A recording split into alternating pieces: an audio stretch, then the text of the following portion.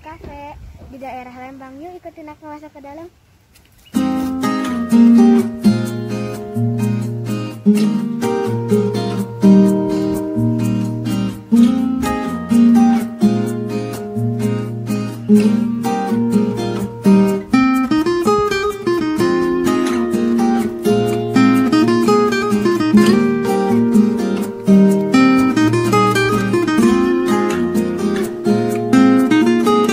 Thank you.